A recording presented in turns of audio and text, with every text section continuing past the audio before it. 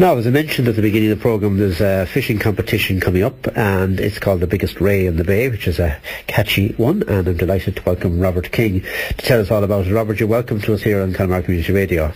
Thanks very much and good evening to all. Um, Robert, this one, the biggest ray in the bay sea angling competition, when is this taking place? We are planning, uh, we are having it taking place on Sunday the 15th. Now that's on Sunday week. And we're going to fish for about five hours between 12 and 5. And registration for it will be down at the boat club from about 11 o'clock.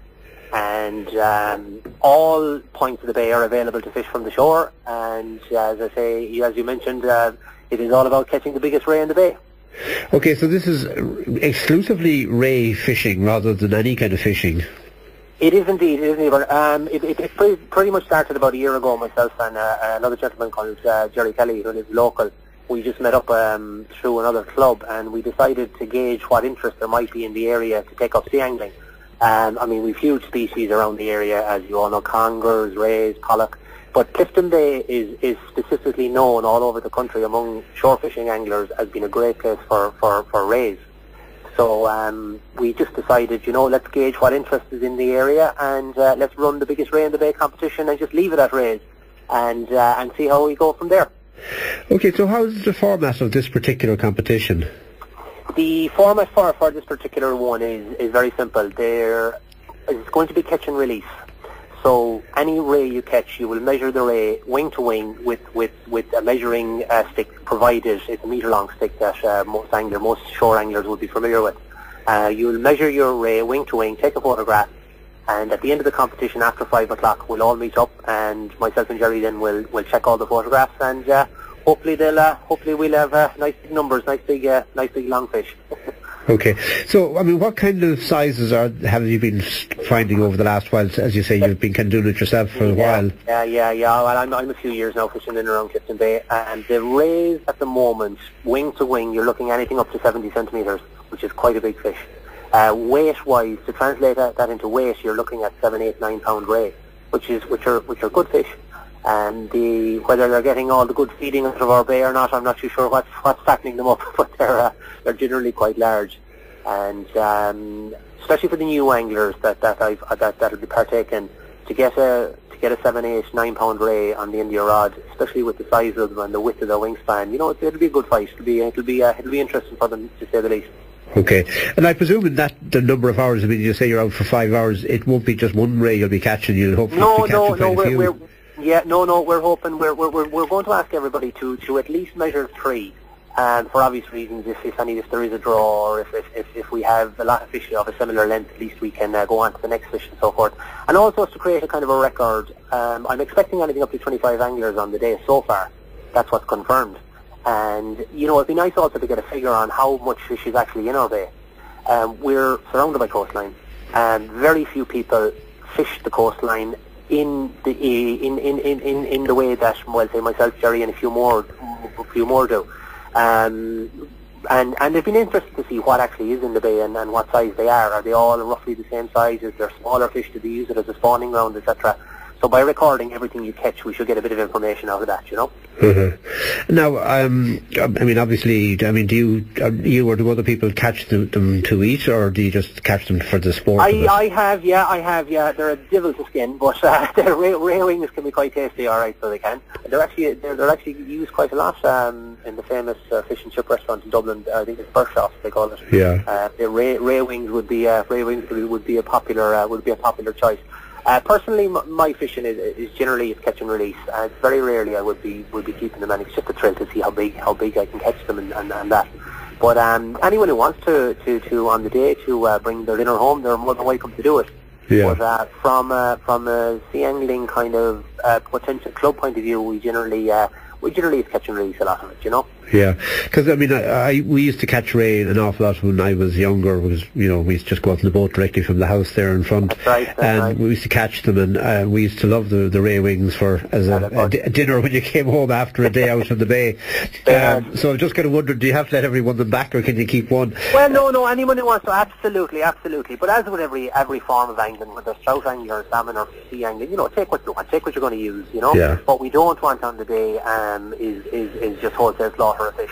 Yeah. You know, that that wouldn't be really on either. So uh, definitely, if anybody wants to keep something for themselves, absolutely. I know personally, if I get a large fish, he might be going home.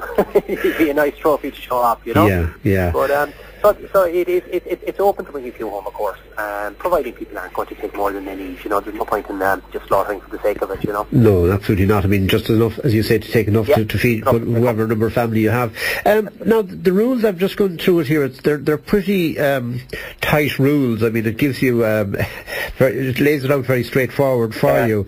Um, that obviously will all be given to everybody so that they'll be fully Yeah. aware of that. On the day when when a person arrives, I mean, fishing is from 12 to 5, and any so everyone, if you want to get your good fishing mark in the bay, um, you'll want to be getting down to me at about 11 o'clock, so you can head out in your car. And I will give you a sheet of paper, and if you haven't got a match ruler, I will give you a match ruler as well, um, so you can measure your fish. But they are specific because, like every competition, you know, they're they're they're they're stringent, but everybody has to has to play has to, has to be off the same hymn sheet, you know. I mean, you'll get a measuring stick, you'll pay your registration fee, you'll get your measuring stick, you will, um, you know, we'll just make sure you have a phone or a camera that can take a decent picture. And um, basically anywhere in the bay is, is up for grabs, anywhere starting at the, White Lady, draw a northerly line across the slopers and anywhere inside in the bay. And uh, from my own experience for the last couple of years fishing it, there's plenty of big fish in there. You don't need to go any further, you know. Okay, okay. Now, uh, you're still looking for a bit of sponsorship and uh, help. We are. Well, I mean, the, the, the, the whole idea behind this yeah, this this competition specifically, it's the first one like this that's been run in Clifden, and uh, you know, we as I say, we're we're all living beside the sea. We've miles and miles of coastline, and very very little of this. And I couldn't believe there wasn't a sea angling club around here when I went to investigate. I just assumed there'd be one in some part of the area.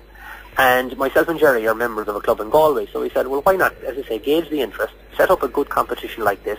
If there's enough members, we'll get enough people on board. Now, the idea of, of, of advertising with anyone who wants to get involved in it, like every club, you need a few bob to, get- to get started up. If we can have 25 anglers, local anglers, and especially teenage and younger anglers coming out the next day, we're going to want to set up a small club. So we're hoping if there's any local businesses around that may want to just, you know, give us a handout. We might get a little bit of gear, buy a few measuring rulers, and get the locality, get the local, specifically the teenage group that are around town that aren't involved in sport. There isn't a lot else for them, so angling is a great outlet for them. And it's competitive angling, because as I say, at the end of the day, shore fishing, it is a competition. And that's what we're specifically trying to do. Um, if, if any of your listeners are out there, just they only have to go online and just Google any sea angling website, Clifden and Roundstone and Renvyle and Cleggan. They're constantly being mentioned. You wouldn't believe the amount of species that's around here and um, the amount of fish that's around here. So it's to create a club, to create a bit of, uh, to create a bit of um, advertising for the area, and it will drag people in. Um, sea fishing clubs, they're all over Ireland. You get groups of lads, 10, 15, 20 lads heading away for a weekend. We can't do that without getting the businesses in with us to help us to kind of give a bit of advertising for the area and for, and for what we're trying to develop, you know. Uh-huh, uh-huh. So this is all shore fishing you're talking about Yeah, here. shore fishing at the moment. Shore fishing at the moment. We, we, we, if we do, which we are planning in January, to set up a proper, we aren't sure of a name yet, but a sea angling club for the area. Boat angling will obviously come in, come on stream as well. Um, specifically shore angling at the moment, just as I said, just to gauge an interest um, on on on the on the people in and around, and it's from Roundstone to Renvyle. It's the whole area, Roundstone to Renvyle, that we're, we're, we're, aiming to get people interested. So um, boat angling, of course, will will become part of it as well. But it's just it, specifically being the title, the Ray and the Bay. People are actually talking about it because it is the Ray and the Bay. It's it's, it's a catchy enough, Yeah. catchy enough slogan, you know. Yeah. So that's what we're specifically at, at now at the moment. Anyway, we're going to give it a good go, and hopefully the local people will support us. You don't need a lot of tackle for it. Decent rod, decent half half decent reel, bit of mackerel bait.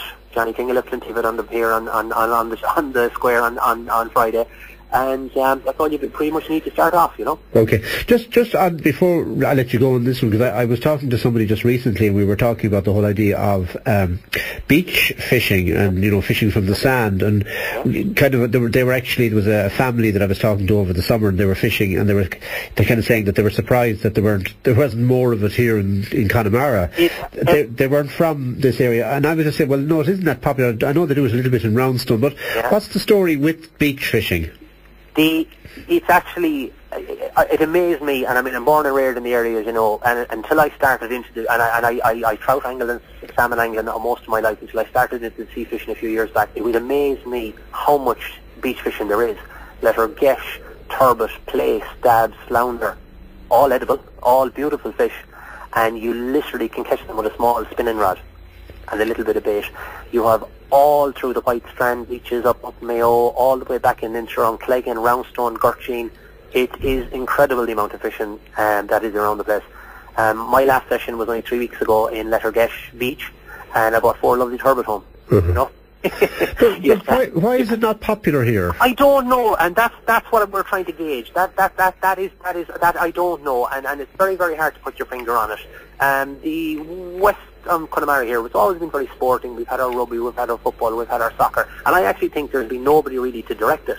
The boat fishermen have been fantastic, but it's you know you have your charter boats, and they've been brilliant, and they've brought a lot of people around the place. But I think shore fishing, it's nice to go shore fishing with a few people.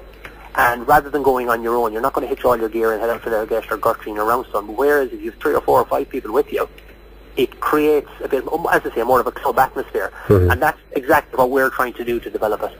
And uh, hopefully after after Sunday week, if it's a good success, which I'm which is looking like it will, if the weather gods look down on us, mm-hmm. and um, we're definitely going to um, we're definitely going to uh, progress this a little bit further and um, get as many people as we can into the sport. Um, it is a sport not everybody plays rugby, not everybody plays soccer, not everybody plays mm-hmm. football. So yeah. um, it is a sport at the end of the day, and that's what we're going to try and do. Yeah, because I think I remember being out in uh, Gurteen one day when there was a fishing competition from I think Dublin or somewhere with the the, the, the beach fishing, and it was like right. thirty or forty people. Yeah, you and it was amazing it. to see them. Yeah, yeah, yeah. yeah. They travelled from Dublin. There's one next. In the, it's actually on Lettergesh Beach next Saturday morning. Uh, there's a club from Galway coming out. They they should have 25 to 30 anglers, and they're driving from Galway, and it's on our doorstep and we don't use it. I think it'd be great for, for people who might have even a remote interest to go along on that day and just see yeah. how it's done because it, it, the, the, rods are fantastic and see them kind of sticking in the sand. Yeah, yeah, yeah. and just, I mean, it's amazing to see it. And to be honest, you, you, another point on that is that people are actually, I think some of, some people can be put off by it because they think it's a big expensive game. It's not. If you have a long fishing rod and a half decent reel, that's all you need. You don't need another thing. And that is literally what you need. A lot of us might be carrying our bags in our back and our big boxes, but that's just carrying a load of gear because, as you do, it's like our golfers, you have probably more clubs in the shed than you have in the bag. Yeah. yeah. but uh, but it, it, it isn't an expensive game to get into. But um, uh, as I said, Lettergesh now, there'll be a club there on Saturday morning, and the, as far as I know, the last count there was 28. I think was the actual count. They were coming out all the way out from Galway, Mayo to fish Lettergesh and it's okay. on our doorstep, and we don't even know about it. okay.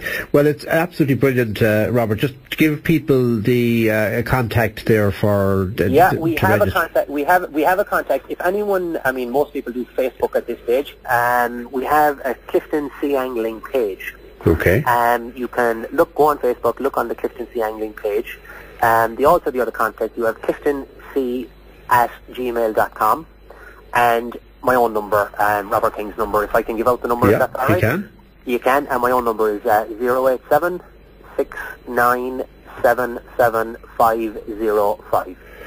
Okay, Robert, the very best luck with the biggest ray in the bay on Sunday the 15th. Hopefully you'll have a great crowd of people there, and it sounds like a really wonderful idea, so hopefully it'll go well for you. Thanks very, thanks very much. Not at all. Bye, bye, Robert. Bye. Take care, take care, take care.